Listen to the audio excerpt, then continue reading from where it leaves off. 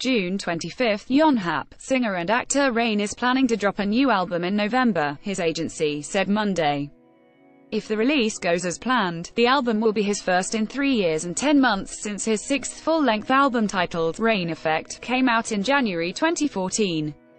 Rain Company said the star will focus solely on recording after finishing up shooting UHM Bokdong, an upcoming South Korean film based on a true-life story of cyclist UHM Bokdong, at the end of this month. In January, the singer released a ballad written by rapper Psy. But otherwise, he has been absent in the K-pop scene for quite long time.